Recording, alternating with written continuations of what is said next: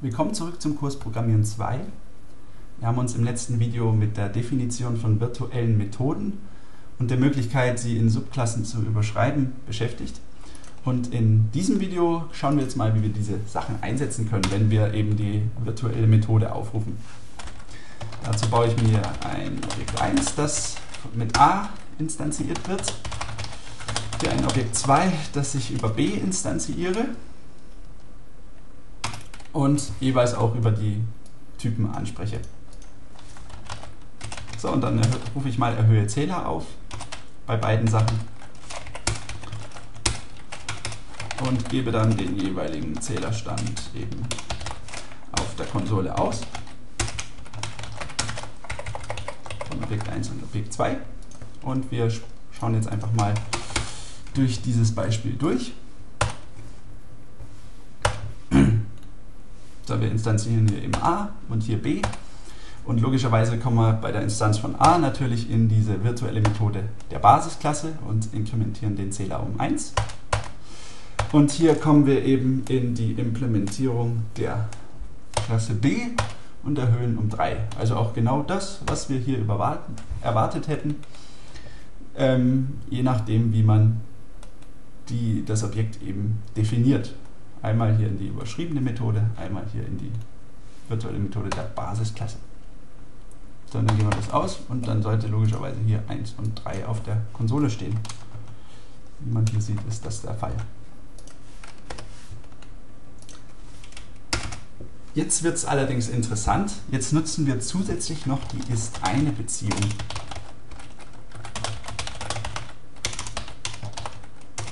Das heißt, wir instanzieren ein Objekt von B und die Adresse von B wird dann aber implizit in A umgewandelt.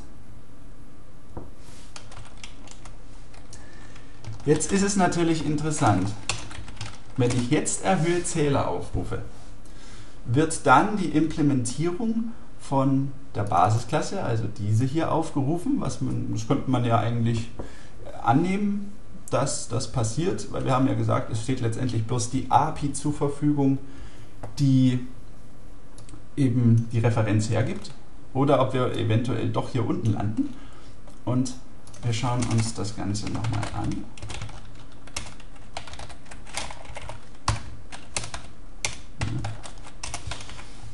Wo die Reise hingeht. So, wir instanzieren jetzt hier unser Objekt 3 und jetzt springe ich einfach mal mit F11 in diese Funktion rein, weil die Spannung schon so groß ist, wo wir letztendlich landen werden. Und wir sehen, wir landen in der Funktion von b. Und das ist dann doch eher nicht so intuitiv zu begreifen. Zumindest habe ich da gestutzt, als ich das zum ersten Mal präsentiert bekommen habe. Aber das, was wir hier sehen, übrigens in allen drei Fällen, ist die sogenannte dynamische Bindung. Und dynamische Bindung tritt bei jeder virtuellen Methode in C-Sharp auf. Was heißt das? Hier ist es offensichtlich klar, also beziehungsweise hier hat sich der Methodenaufruf jeweils so verhalten, wie man sich das erklären könnte, aber hier überhaupt nicht. Wieso landen wir in der Implementierung von B wenn wir das Objekt über die ist-eine-Beziehung als Typ A ansprechen. Was passiert bei der dynamischen Bindung? Immer wenn eine Funktion aufgerufen wird, das ist genau hier, also bevor wir in dieser Funktion landen, wenn es eine äh, virtuelle Funktion ist, kommt eben die dynamische Bindung. Was dann gemacht wird, ist, dieses Objekt, was wir hier sehen, wird erstmal analysiert. Was hast du denn eigentlich für einen tatsächlichen Typen hinter dir stecken? Und dann sieht man eben schon, dass es nicht tatsächlich A ist, so wie wir es ansprechen, sondern eben B, so wie wir es instanziert haben.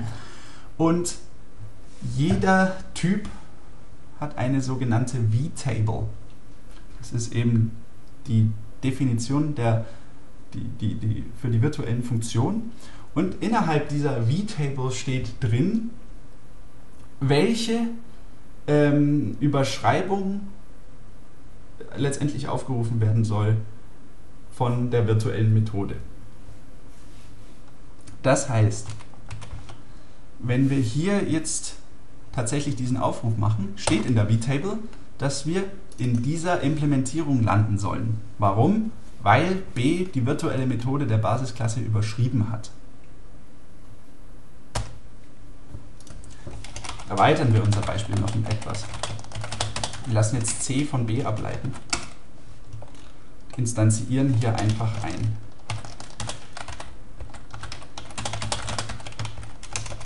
c und rufen jetzt hier erhöhe Zähler auf. Jetzt steht, jetzt hat C selber nicht diese Methode überschrieben. Wir sehen die Definition oder der Klassenscope von C ist leer. Aber da wir von B ableiten, landen wir trotzdem in dieser Überladung hier. Äh, Entschuldigung, nicht in, in, in dieser überschriebenen Methode natürlich.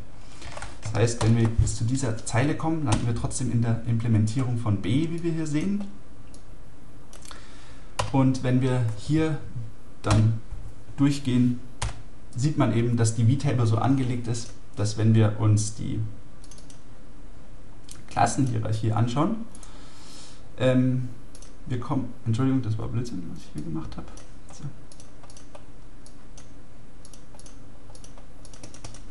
Okay. Gibt ja offensichtlich ein Problem. Moment. Achso, ich habe jetzt wahrscheinlich aus Versehen sämtliche Klassen hier gelöscht. Okay, deswegen. So, zurück. Diese Klasse brauchen wir nicht.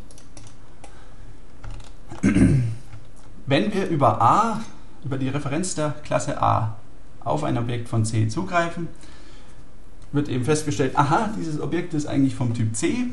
Dann macht man eben den Lookup in die vTable von C und da steht drin, dass B diese Methode, die aufgerufen werden soll, überschrieben hat und deswegen landet man letztendlich auch wenn man sich vorstellt, dass hier noch mehrere Klassen involviert sind, äh, in der äh, Überschreibung, die eben am nächsten an dieser Klasse C dran ist.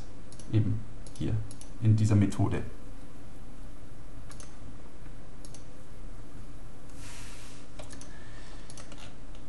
Ja, das ist eben die sogenannte dynamische Bindung. Das heißt, letztendlich wird dieses, dieser Lookup wird ja zur Laufzeit durchgeführt. Und das hat natürlich auch etwas Auswirkungen auf die Performance. Wenn man normal programmiert und nicht direkt darauf bedacht ist auf Performance, was man übrigens nicht sein sollte, man sollte erst Performance versuchen zu fixen, wenn man wirklich in Bredouille kommt oder eben entsprechend für High Computing Systems programmiert, dann natürlich auch, aber als äh, jemand, der einfach Funktionalität des Alltags in Software umsetzt, muss man sich standardmäßig erstmal nicht mit Performance beschäftigen.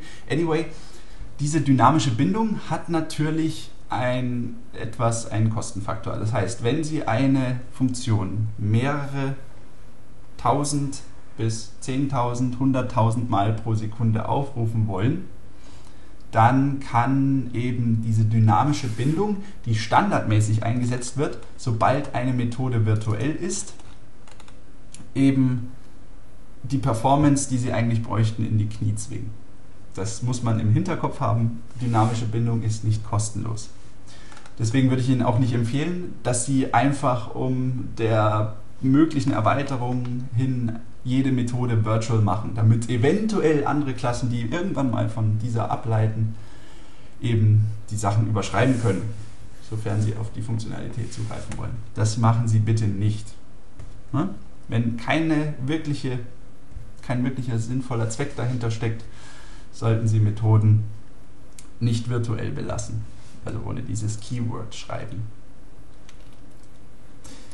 Ja, aber im Prinzip, wir haben gesehen, wie es geht und ähm, diese virtuellen Methoden sind jetzt schon ein erster Schritt zur Polymorphie letztendlich weil, wie im letzten Video schon gesagt, man eben die Funktionalität einer anderen Klasse, von der man ableitet, außer Kraft setzen kann und durch eine eigene ersetzt. Ja, vielen Dank fürs Zuschauen in diesem Video. Im nächsten Video werden wir uns ebenfalls nochmal mit virtuellen Methoden beschäftigen.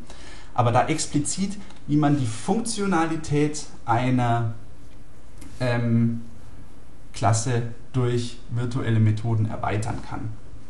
Vielen Dank fürs Zuschauen und bis bald.